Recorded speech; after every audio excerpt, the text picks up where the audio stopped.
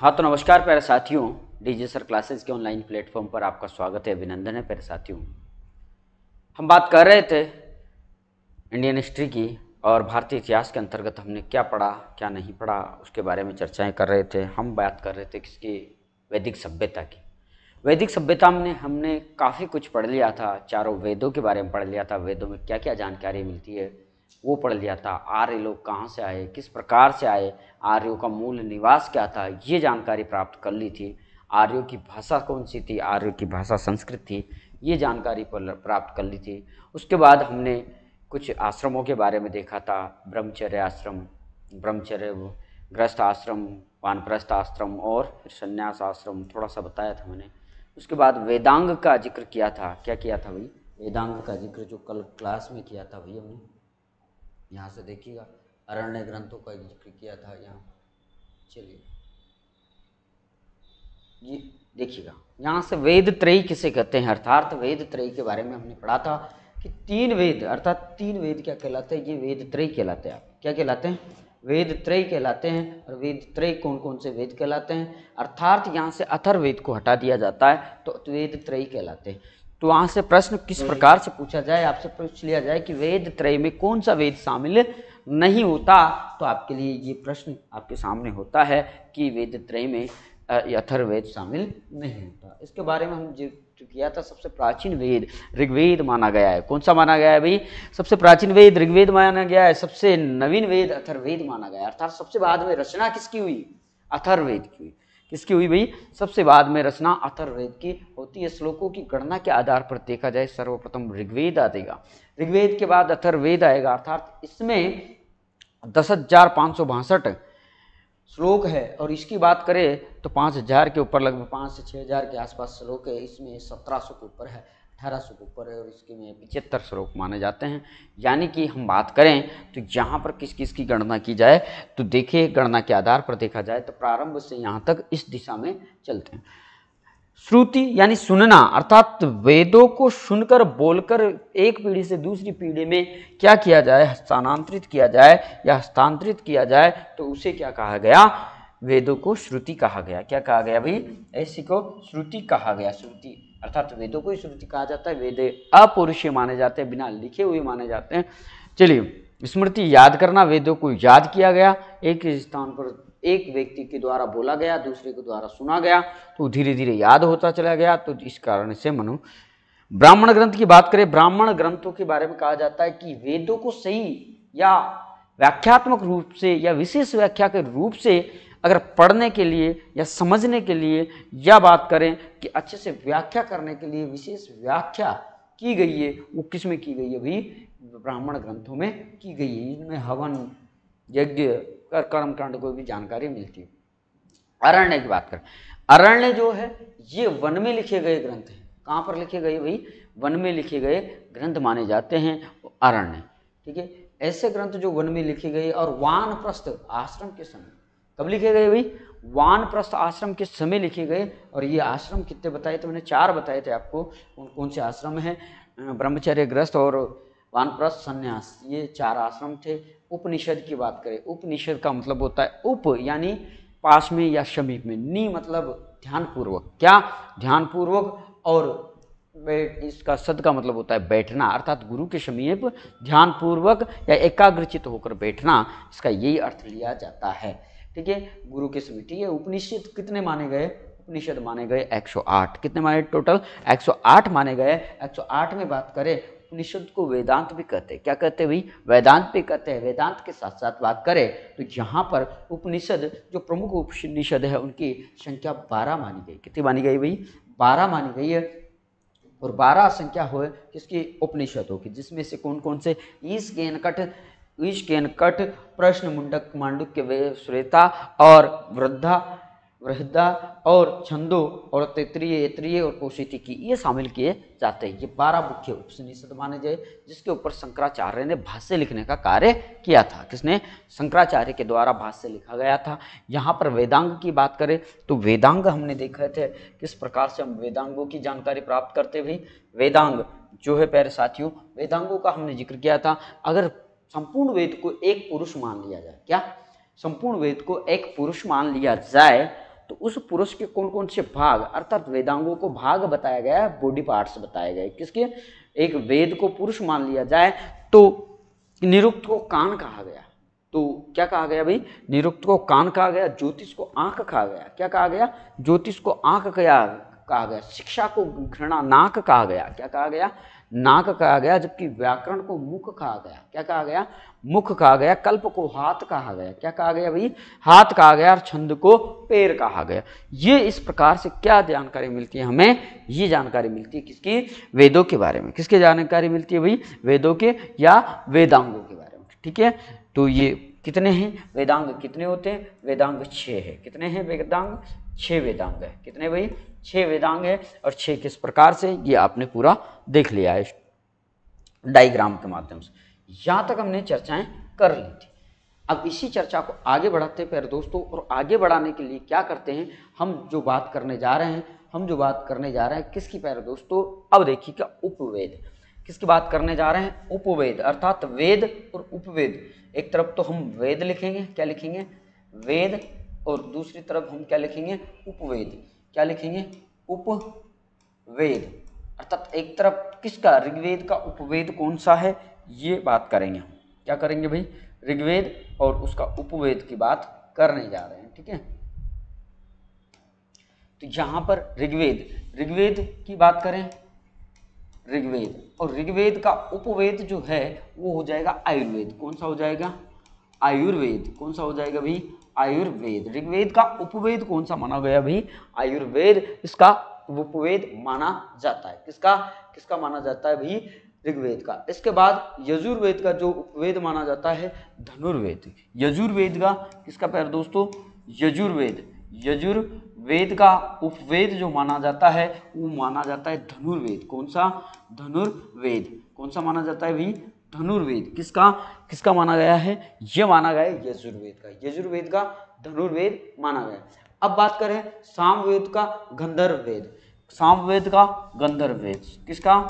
साम वेद का जो उपवेद माना गया है, वो माना गया गंधर्व वेद गंधर्व गंधर्व वेद कौन सा माना गया अभी? गंधर्व वेद अब बात करें तो कौन सा? अथर्ववेद। कौन सा?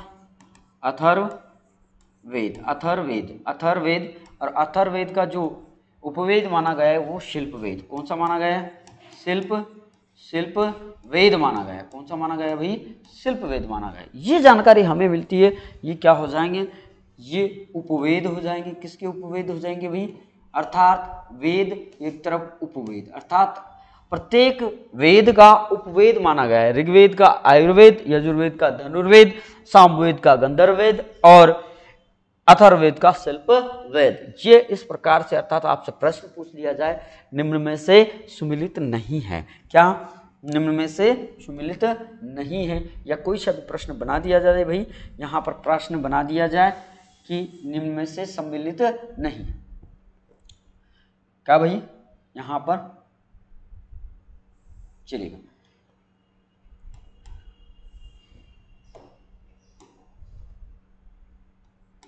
निम्न में से सम्मिलित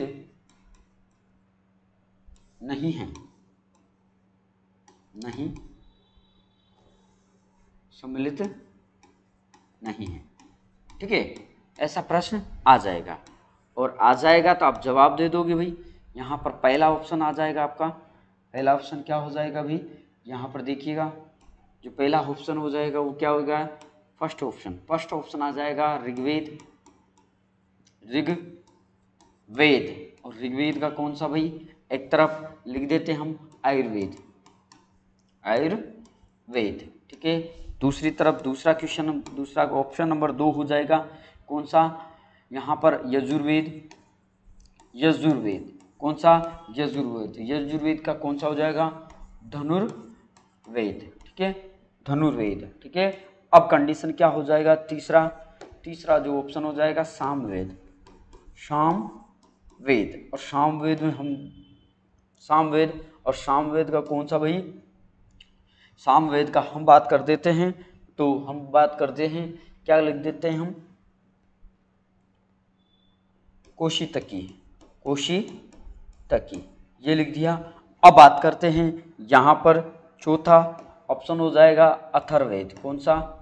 अथर्ववेद अथर्वेद और अथर्वेद का हो जाएगा शिल्प वेद क्या? शिल्प वेद क्या हो जाएगा? शिल्प वेद और निम्न में से सुमिलित नहीं है तो कौन सा सुमिलित नहीं होगा भाई? यहाँ पर आंसर आपको देना होगा भाई। सबसे यहाँ पर आंसर क्या हो जाएगा? आपका ये वाला आंसर सही हो जाएगा। अर्थात आप देख रहे हैं प्यारे दोस्तों, ये वाला आंसर सही हो जाएगा। यानी कि यहाँ पर हम देख पा रहे हैं, ये बाकी तो ऋग्वेद का आयुर्वेद होता ही है, उपवेद, यजुर्वेद का धनुर्वेद होता है, जबकि सामवेद का गंधर्व वेद होता है कोशिकी नहीं होता, और अथर्वेद का शिल्प वेद है। ठीक है, पर दोस्तों, इस प्रकार से आपसे प्रश्न पूछा जा सकता है, और आपको सही जवाब देना पड़ेगा। क्या देना पड़ेगा भाई? देना पड़ेगा जवाब। समझ में आ गया, प्यारे साथियों? अब आगे बात करते हैं। तो ये जानकारी आपको हो जानी चाहिए। नेक्स्ट जो बात करने जा रहे हैं, किसके बारे में बात करने जा रहे हैं भाई? यहाँ पर और महत्वपूर्ण जो चीज़ें हैं, वो क्या लेते हैं भाई? यहाँ पर सत्यमेव जो जयते हैं, वो मुंडको उपनिषद से लिया गया है। क्या? यहाँ पर बात कर रहे हैं भाई। सत्यमेव जयते सत्यमेव जयते, किससे लिया गया है? मुंडको उपनिषद से। मुंडको उपनिषद। कहाँ से लिया गया है? मुंडको उपनिषद से लिया गया है। लिया गया है। कहाँ से लिया गया है भाई? सत्यमेव जयते है। ये कहाँ से लिया गया है? मुंडकोपनिषद से लिया गया है। ठीक है? याद रह जाएगा आपको। सत्यमेव जयते मुंडकोपनिषद से लिया गया है। लोकपाल का आदर्श वाक्य, लोकपाल का आदर्श वाक्य ईशोपनिषद से लिया गया है। किससे लिया गया भाई जो लोकपाल का आदर्श वाक्य है। किसका पैर दोस्तों? लोकपाल। लोकपाल? लोकपाल। लोकपाल का आदर्श वाक्य। आदर्श। आदर्श वाक्य। आदर्श वाक्य। आदर्श वाक्य कहाँ से लिया गया है? लोकपाल का आदर्श वाक्य और आदर्श वाक्य कहाँ से लिया गया है भाई? ईशोपनिषद से। कहाँ से लिया गया है? ईशोपनिषद से। कहाँ से लिया गया भाई? ईशोप निषद से लिया गया है। शोपन निषद से लिया गया है। लिया गया है। कहाँ से लिया गया है अभी ईशोपनिषद से लिया गया है। आदर्श वाक्य जो है, किसका? लोकपाल का। लोकपाल का आदर्श वाक्य कहाँ से लिया गया है? ईशोपनिषद से लिया गया है। ठीक है? याद रह जाएगा। माँ गधरे माँ गधरे कस्य विध धनम। इसका लोकपाल का आदर्श वाक्य क्या है? माँ गधरे कश्य विध धनम। ये किसका? लोकपाल का आदर्श वाक्य है। माँ गधरे, माँ गध, माँ सॉरी भी। एक मिनट। आ गया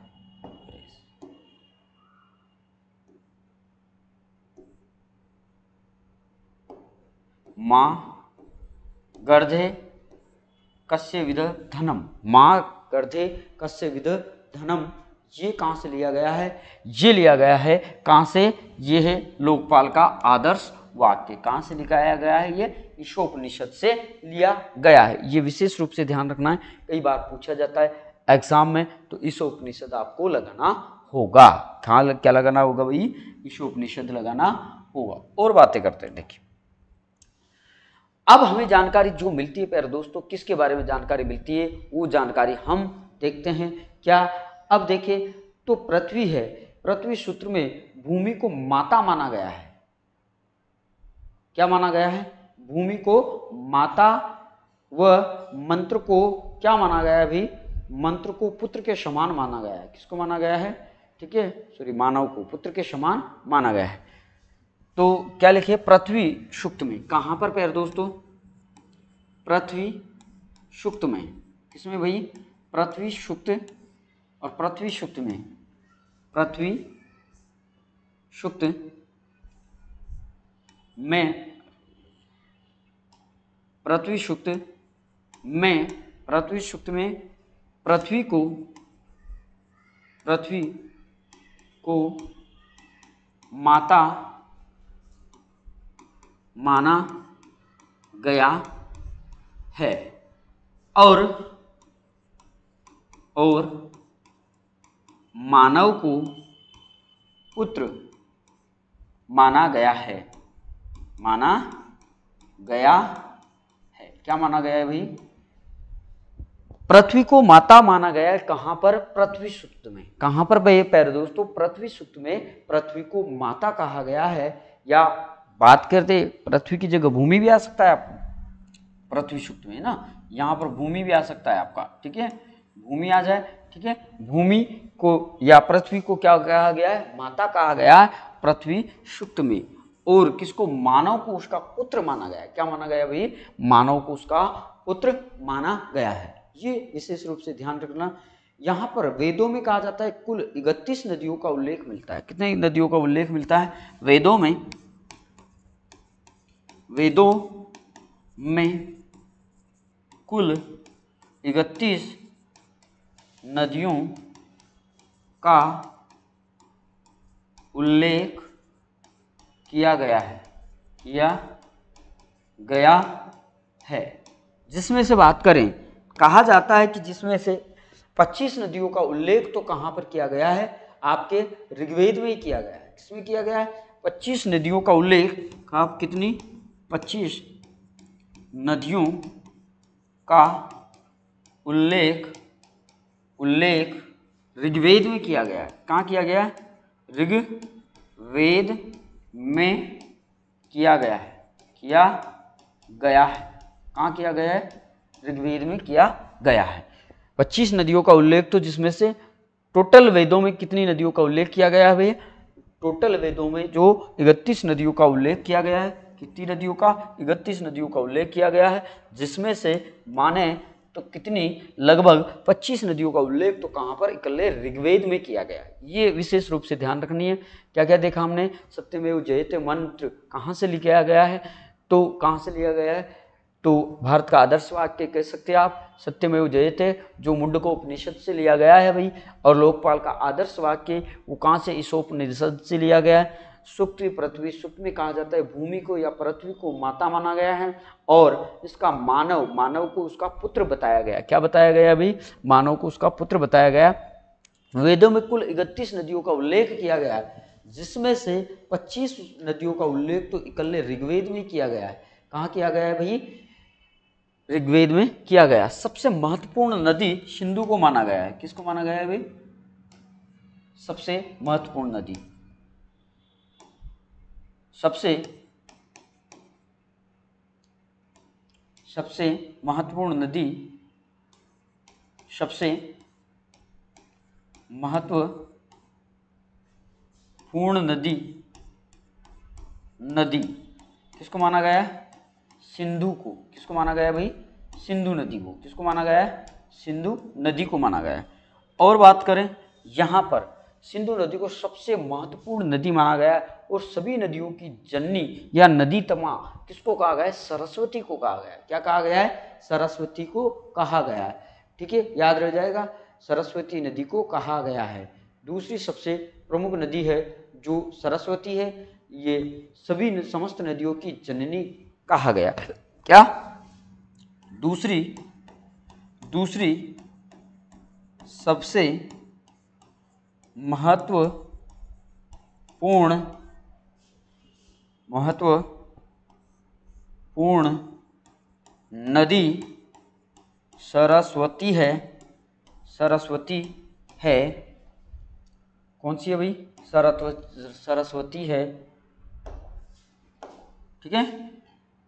और सरस्वती को क्या? सरस्वती नदी को, सरस्वती नदी को समस्त समस्त नदियों की नदियों की जननी कहा जाता है। क्या कहा जाता है भाई? सभी नदियों की जननी कहा जाता है। किसको कहा जाता है? सरस्वती को सभी नदियों की जननी कहा जाता है। ये विशेष रूप से आपको ध्यान रखना है। क्या कहा जाता है भाई? सरस्वती को सबसे महत्वपूर्ण नदी सबसे महत्वपूर्ण तो सिंधु, दूसरी सबसे महत्वपूर्ण नदी किसको माना जाता है भाई? सरस्वती को माना जाता है। ठीक है? याद रह जाएगा। अब कहा जाता है। नेक्स्ट बातें करते चलिए नेक्स्ट तो यहाँ पर आर्यों की कहा जाता है कि इस समय आर्यों की सरमुख सबसे प्रमुख जाति भरत थी। कौन सी थी भाई? आर्यों की सबसे प्रमुख जाति। देखिए, आर्यों की किसकी भाई? आर्यों की। आर्यों की सबसे सबसे प्रमुख जाति कौन सी? सबसे प्रमुख जाति कौन सी थी? भरत। कौन सी थी? भरत थी। कौन सी थी भाई? आर्यों की सबसे प्रमुख जाति भरत मानी जाती। क्या मानी जाती है भाई? आर्यों की सबसे प्रमुख जाति भरत थी। और भरत के बारे में कहा जाता है, इसी के आधार पर संपूर्ण देश का नाम भारत रखा गया। इसी के आधार पर, इसी इसी आधार पर, इसी आधार पर आधार पर संपूर्ण संपूर्ण देश का नाम, देश का नाम भारत रखा गया। क्या रखा गया? भारत रखा भारत रखा गया। क्या रखा गया भाई? अर्थात भारत देश का नाम इस जाति के नाम पर भारत रखा गया, भारत जाति के नाम पर भारत रखा गया। ठीक है? और बात करें, भरत जाति का एक राजा हुआ जिसका नाम था सुदास। क्या?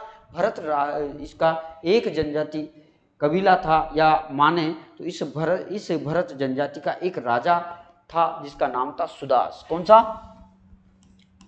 इस इस भरत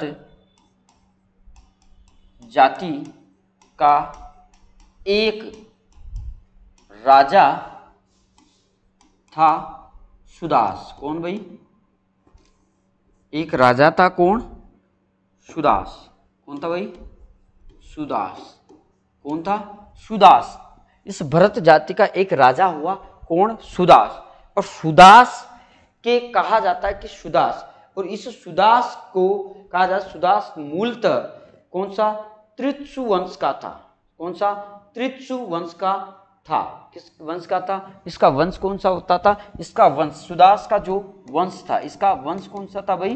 त्रित्सु वंश। कौन सा? त्रित्सु, त्रित वंश था। इसका वंश कौन सा था त्रित्सु वंश। ठीक है? इसका वंश कौन सा था? त्रित्सु वंश माना जाता है। याद रखिएगा, सुदास का जो वंश है, ये त्रित्सु वंश का था। सुदास कौन से वंश का था भाई? त्रित्सु वंश का माना जाता है। और यहाँ पर जो जानकारियाँ मिलती है दोस्तों, इन भरत राजा सुदास के एक पुरोहित थे विश्वामित्र। कौन थे भाई? विश्वामित्र। इनको पद से हटाकर पुरोहित के रूप में महर्षि वशिष्ठ को नियुक्त कर दिया जाता है। किसको भी किया गया जाता है भी?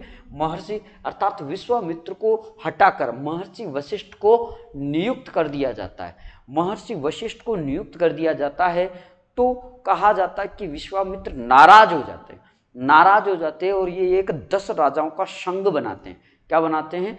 दस राजाओं का संघ बनाते हैं और दस राजाओं का संघ बनाते हैं तो कहा जाता है कि इनके बीच में दस राजाओं और सुदास के बीच में एक युद्ध होता है जिससे कहा जाता है दस राज्य युद्ध। कौन सा कहा जाता है भाई?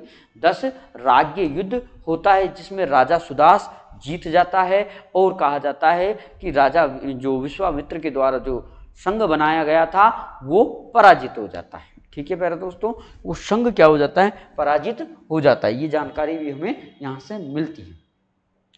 ठीक है? और ये जो युद्ध लड़ा जाता है दस राज्य युद्ध, कौन सा प्यारे दोस्तों? दस राज्य युद्ध। कौन सा? दस दस राज्य युद्ध। दस राज्य दस राज्य युद्ध जो लड़ा जाता है प्यारे दोस्तों, ये रावी नदी किस नदी के तट पर? रावी नदी के तट पर लड़ा गया। रावी नदी के तट पर लड़ा गया था। किस किस के बीच? एक तो सुदास, किसके बीच? सुदास और सुदास वर्सेज दस राजा। कितने राजा? दस राजा। कितने राजा? दस राजाओं का राजाओं का संघ, जो किसने बनाया था? विश्वामित्र ने। किसने बनाया था? विश्वामित्र ने बनाया था। किसने बनाया था? विश्वामित्र द्वारा बनाया गया था। किसके द्वारा बनाया गया था ये? ये विश्वामित्र के द्वारा बनाया गया था। ठीक है? याद रह जाएगा। जिसमें विजयी कौन होता है भाई? इसमें विजयी। विजयी कौन होता है इसमें? इसमें विजयी होता है कौन? राजा सुदास विजयी हो जाता है। ठीक है प्यारे दोस्तों? ये दस राज्य युद्ध इसी भरत जाति के द्वारा या दस राजाओं को मिलकर राजा सुदास के खिलाफ युद्ध किया था विश्वामित्र के द्वारा। क्यों किया गया था? भाई, इन्होंने अपने पुरोहित के पद पर से हटा दिया था, राजा सुरसुदास ने, किसको? विश्वामित्र को, और किसको नियुक्त कर दिया था? वशिष्ठ को नियुक्त कर दिया था। किसको नियुक्त कर दिया था? वशिष्ठ को नियुक्त कर दिया था। तो ये नाराज़ हो जाते हैं विश्वामित्र। नाराज़ हो जाकर दस राजाओं का एक संघ बना लेते हैं। संघ बनाने के ने के पश्चात रावी या परुषणी नदी, कौन सी? परुषणी नदी। रावी नदी को क्या बोलते हैं? परुषणी। क्या बोलते हैं? परुषणी। कौन सी नदी बोलते हैं भाई? परुषणी नदी या इसी के किनारे। ये युद्ध होता है। कौन सा युद्ध? दस राज्य युद्ध कहा जाता है, जिसे, जिसमें विजय राजा सुदास हो जाता है। प्यारे दोस्तों, समझ में आया? ये युद्ध बड़ा इंपॉर्टेंट है। कई बार पूछ लिया जाता है, ठीक है? याद रखना, इसमें क्या कहा जाता है? तो देखिए, अब बात करें। नेक्स्ट जो बातें करते हैं भाई चलो, आगे बढ़ते आगे यहाँ का राजनीतिक जीवन की बात करें, किसका? राजनीतिक। राजनीतिक जीवन। या ही राजनीति, ठीक है?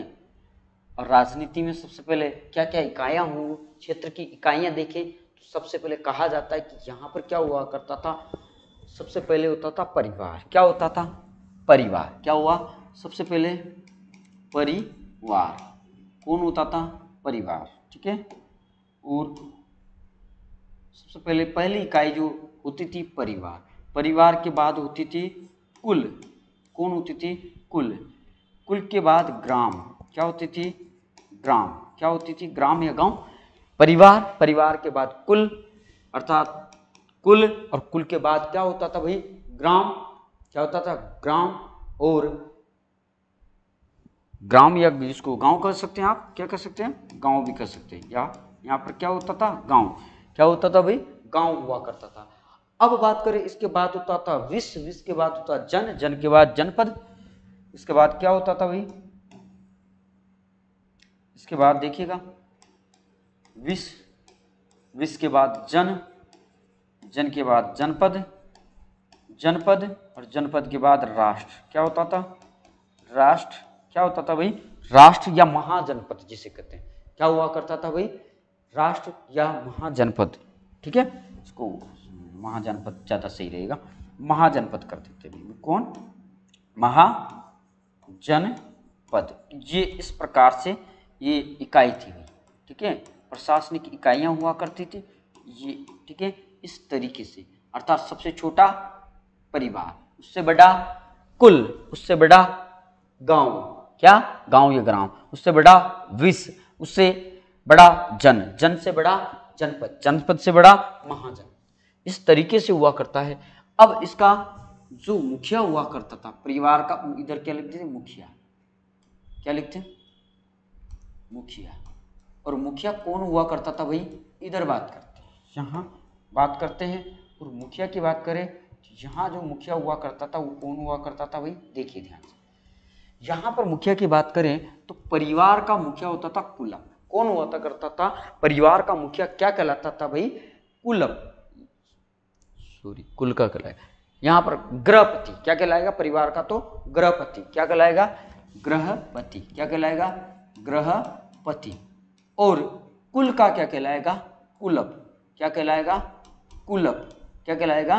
कुल का जो मुखिया कहलाएगा, कुलप कहलाएगा। क्या कहलाएगा भाई? कुलप कहलाएगा। और जो ग्राम का क्या कहलाएगा? ग्रामीणी। क्या कहलाएगा? क्या कहलाएगा भाई? ग्रामीणी। क्या कहलाएगा? ग्रामीणी। गाँव का ग्रामीणी। क्या कहलाएगा? ग्रामीणी कहलाएगा। विष का विषपति क्या? विषपति क्या कहलाएगा?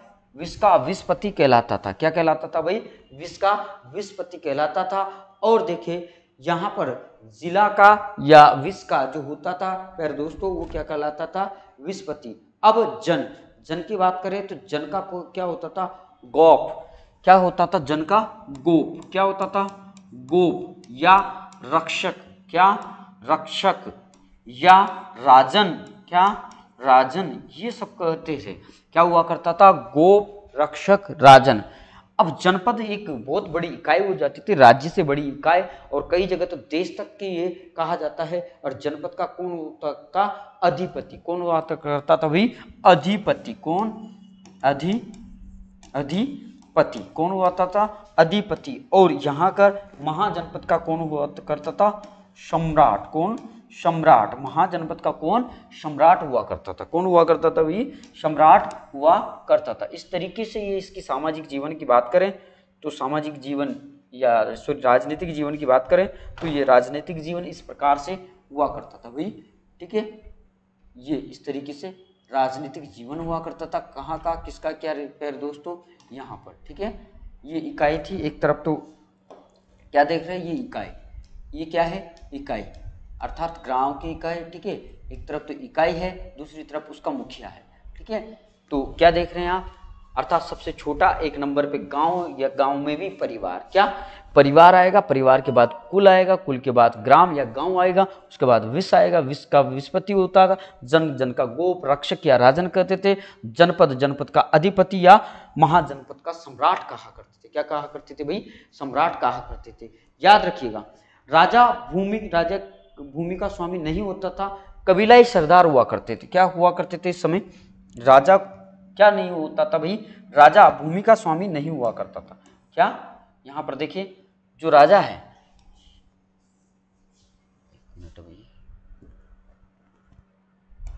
एक मिनट यहाँ पर देखिएगा, जो राजा है, ये भूमि का स्वामी नहीं हुआ करता था। कौन? राजा। राजा भूमि का स्वामी नहीं होता था नहीं होता था। भूमि को भूमि को कबीलाई किसमें पैर दोस्तों? भूमि को कबीलाई सरदारों में बांटा जाता था। सरदारों में बांटा। सरदारों में बांटा जाता था। कहाँ बांटा जाता था भाई? अर्थात जहाँ पर किसमें बांटा जाता था, जो भूमि है, इसके रक्षक कौन हुआ करते थे? कबीलाई सरदार। किसी कबीले विशेष के सरदार हुआ करते थे। वो क्या कहते कहलाते थे भाई? भूमि के स्वामी या भूमि रक्षक कहलाते थे। ये याद रखना। युद्ध का स्वामी जो है जनस्य गुप्ता कहलाता था। युद्ध का स्वामी क्या कहलाता था भाई? युद्ध का स्वामी। किसका? युद्ध का स्वामी। युद्ध का स्वामी क्या कहलाता था? जनस्य जनस्य गोप्ता। क्या कहलाता था? जनस्य गुप्ता कहलाता था। युद्ध का स्वामी क्या कहलाता था भाई? जनस्य गुप्ता कहलाता था। ये सारी चीज़ें आपको ध्यान रहनी चाहिए। मुख्य रूप से आपको ये चीज़ें ध्यान रहनी चाहिए। क्योंकि राजनीतिक जीवन या राजनीतिक जो इकाइयाँ हैं इससे प्रश्न कई बार पूछा गया है और कई बार आने की संभावना ज़्यादा रहती है भाई, यहाँ से। यहाँ से प्रश्न बनने की संभावना ज़्यादा रहती है और यहाँ से एग्जामिनर कई बार पूछ लेता है, वो कुल का कुल का रक्षक या मुखिया कौन होता है? कुलप पूछ सकता है, ग्राम का ग्रामीणी होता है और ये भी पूछ सकता है कि किसी भी प्रकार से प्रश्न बनाकर वो पूछ सकता है, ग्रामीण का रक्षक कौन होता है या राजन कहाँ का स्वामी होता है, ये सारी चीज़ें पूछ सकता है और आपको आनी चाहिए। भाई एक एक चीज़ आपको आनी चाहिए। एक ठीक है? सामाजिक जीवन की बात करें तो सामाजिक जीवन यहाँ पर कहा जाता है अलग अलग प्रकार के हुआ करता था और सामाजिक जीवन बहुत अच्छा चला करता था भाई यहाँ का ना? ठीक है? तो यहाँ पर क्या देखने को मिल रहा है हमें? यहाँ पर समाज की तरह देखा जाए तो कहा जाता है कि ये एक प्रकार से किससे? इसके प्रकार से देखा जाए तो जिस प्रकार से राजनीतिक जीवन देख रहे हैं तो परिवार का मुखिया, अर्थात तो परिवार से ही जीवन चल रहा है। ठीक है? और कहाँ तक जा रहा है भाई? सम्राट तक जा रहा है। कहाँ तक जा रहा है? सम्राट तक जीवन जा रहा है। वैदिक सभ्यता में समाज जो देखेगा, चलिए थोड़ा सा बात कर लेते हैं सामाजिक जीवन की भी। किसकी बात करें? सामाजिक जीवन किसकी बात करें? सामाजिक जीवन। किसकी बात करें? सामाजिक जीवन। सामाजिक जीवन की बात करें तो वैदिक सभ्यता में जो समाज है, वो पितृसत्तात्मक हुआ करता था। किसमें? वैदिक सभ्यता। वैदिक सभ्यता में वैदिक सभ्यता में समाज समाज, पितृ पितृ, सत्तात्मक। कैसा था भाई? पितृसत्तात्मक था। क्या था भाई? पितृसत्तात्मक था। अर्थात यहाँ का जो समाज है, वो कौन सा था? पितृसत्तात्मक समाज था। यहाँ देखा जाए तो पिता का उत्तराधिकारी उसका पुत्र बनता था। क्या बनता था भाई? उसका पुत्र बनता था। या फिर किसी का उत्तराधिकारी उसका पुता, पिता हुआ करता था तो उसका बाद में कौन बनता था? उसका पुत्र बना, बनता था। यहाँ पर देखिए, परिवार का मुखिया क्या कहलाता था? गृहपति कहलाता था, वो हमने देख लिया। क्या कहलाता था? गृहपति कहलाता था। ऋग्वेद में आर्यों का खान पान सरल था भाई, ठीक है? दुग्ध दुग्ध से निर्मित चीज़ें खाया करते थे, दूध से निर्मित चीज़ें खाया करते थे। खान पान बहुत सरल हुआ करता था। क्या खान पान इनका सरल था? किसकी बात करें? खान पान। और खान पान कैसा था? खान पान बिल्कुल सरल था। कैसा था भाई? बिल्कुल सरल खान पान का प्रयोग किया करते थे और ये दुग्ध से खान पान सरल था। सरल था। खान पान कैसा था? सरल था। दुग्ध से निर्मित। किससे? दुग्ध से निर्मित। किससे? दुग्ध से निर्मित। निर्मित चीज़ों का सेवन किया करते थे। चीज़ों का सेवन करते थे। सेवन करते थे। किसका सेवन करते थे? ठीक है? ये याद रखना। किस किसका सेवन करते थे भाई? दुग्ध से निर्मित चीज़ों का सेवन किया करते थे। यहाँ पर मांस मछली खाने को ग्रहणा करते थे। क्या करते थे भाई? और क्या करते थे? मांस मछली मांस मछली खाने से खाने से घृणा करते थे। इनका सबसे महत्वपूर्ण पेय पदार्थ, इनका महत्वपूर्ण पेय पदार्थ, इनका सबसे जो महत्वपूर्ण पेय पदार्थ है, वो सोमरस हुआ करता था। कौन सा हुआ करता था भाई? सबसे महत्वपूर्ण जो पेय पदार्थ है, वो कौन सा हुआ करता था? सोमरस। सबसे सबसे महत्वपूर्ण पेय पदार्थ। क्या? पेय पदार्थ। जो हुआ करता था वो क्या था? सोमरस। कौन हुआ करता था?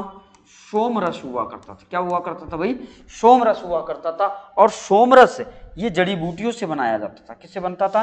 ये हिमालय की जड़ी बूटियों से बनता था। इसका निर्माण किससे होता था भाई? इसका निर्माण सोमरस का निर्माण होता था ये हिमालय की। कहाँ से? हिमालय हिमालय की जड़ी बूटियों से। कहाँ से? जड़ी बूटियों से होता था। किससे हुआ करता था भाई? जड़ी बूटियों से होता था, से होता था, ठीक है? इसका निर्माण कैसे किया जाता था? हिमालय की जड़ी बूटियों से प्रयोग किया जाता था। अर्थात ये नशीला पदार्थ नहीं था, अर्थात एनर्जी देने वाला पदार्थ हुआ करता था। जैसे अभी पैक लगा लेते हैं, वो वाला पैक नहीं है ये। सोमरस से भी, एक लिटिल लिटिल नहीं लिया जाता। ये ये क्या हुआ करता था? सोमरस हुआ करता था और ये कहा जाता है, युद्ध में जाते समय या युद्ध से थक कर आ गए तो सोमरस का एक पैक लगाते थे आराम से लेके सो जाया करते थे। एक ये सोमरस हुआ करता था, ये बड़ा अच्छा पदार्थ था जिससे एनर्जी मिलती थी। अभी वो एनर्जी बूस्टर वाले एनर्जी नहीं, ये सामान्य एनर्जी हुआ करती थी जो कहा जाता है ताजगी फील करते थे। जैसे चाय पीते हो आप, चाय से ताजगी फील कर लेते हैं अपन कि किसी को नींद आ रही है तो चाय पिला दो, कॉफ़ी पिला दो। तो एनर्जी आ जाए, ऐसी ताजगी आ जाए। तो ये किसका प्रयोग करते थे भाई? यहाँ सोमरस का प्रयोग करते थे और उससे ताजगी आती थी। पहले चाय वाय तो थी नहीं हाँ? चाय तो चीन वालों ने भेज दी कहाँ पर? यहाँ भेज दी और चीन से कहाँ? इंग्लैंड चली गई। इंग्लैंड से कहाँ रह गई? अपने यहाँ आ गई। ठीक है, इस प्रकार से चाय तो आ गई, लेकिन चाय कहाँ बस गई? चाय हमारे दिलों में बस गई और दिलों में बस के कहाँ? दिलों में छेद कर दिया साली ने चलिए भाई तो इस प्रकार से ये हुआ करते थे। क्या हुआ करते थे? यहाँ की रहन सहन बात करें तो यहाँ पर जो है, क्या करें? यहाँ पर पहनावा चार प्रकार का हुआ करता था। कितना? पहनावे की बात करें तो चार प्रकार का। पहनावे की बात करें, पहनावा की बात करें तो यहाँ पर कितने प्रकार का होता था? चार प्रकार का। कितने प्रकार का? चार प्रकार का पहनावा हुआ करता था। चार प्रकार का सबसे पहले कौन कौन से? देखिएगा, चार प्रकार का पहनावा हुआ करता था। कितने प्रकार का हुआ करता था भाई? चार प्रकार का पहनावा हुआ करता था। क्या क्या नाम देखें देखिए यहाँ से ध्यान दीजिए। चार प्रकार का पहनावा हुआ करता था। चार प्रकार में कौन कौन से आते हैं भाई? सबसे पहले हम जो बात कर रहे हैं, चार प्रकार के पहनावे में बात करें, नीवी। नीवी, एक तो कौन सा शब्द प्रयोग में लिया जाता? नीवी। कौन सा शब्द प्रयोग में लिया जाता था? भाई, नीवी शब्द प्रयोग में लिया जाता नीवी, अर्थात ये निचले वस्त्र होते थे। पहनने निचले वस्त्र। निचले वस्त्र। निचले वस्त्र। अर्थात नीचे पहने जाने वाले वस्त्र जो है, वो नीवी कहलाया करते थे। क्या कहलाते थे भाई? निचले वस्त्र, नीचे पहने जाने वाले या कमर से नीचे पहने जाने वाले वस्त्र या कमर से नीचे वाले हिस्से को ढकने के लिए जो वस्त्र प्रयोग करते थे, उसको क्या कहते थे भाई? हम नीवी कहते थे। उसके बाद बात करें, अधिवास। क्या? अधिवास। और अधिवास क्या होता था प्यारे दोस्तों? ये कमर से ऊपर। अर्थात क्या कहें हम? ऊपरी शरीर को ढकने के लिए। किसकी बात करें? अधिवास की। किसकी? अधिवास। और अधिवास की बात करें तो ये ऊपरी शरीर को, किसको? ऊपरी शरीर को, किसको? ऊपरी शरीर को ढकने के लिए, को ढकने के लिए पहना जाने वाला ढकने के लिए पहने जाते थे, ठीक है? ऊपरी शरीर को ढकने के लिए ये वस्त्र हुआ करते थे, जिसको अधिवास कहते थे, निचले शरीर को ढकने के लिए जो वस्त्र पहनते थे, उनको निवी कहते थे, अधिवास ऊपरी शरीर को ढकने के लिए जो वस्त्र प्रयोग में किया जाता था, उसको क्या कहते थे? अधिवास। अब बात करें वास, ऊपर से ओढ़ा जाने वाला, कौन सा? वास। कौन सा? वास। और वास क्या होता है भाई? वास हुआ करता था, ऊपर से ओढ़ा जाने वाला। ये वास क्या होता था? ऊपर। ऊपर से ओढ़ा जाने वाला। ऊपर से ओढ़ा जाने वाला वस्त्र। ओढ़ा जाने वाला वस्त्र। कैसा?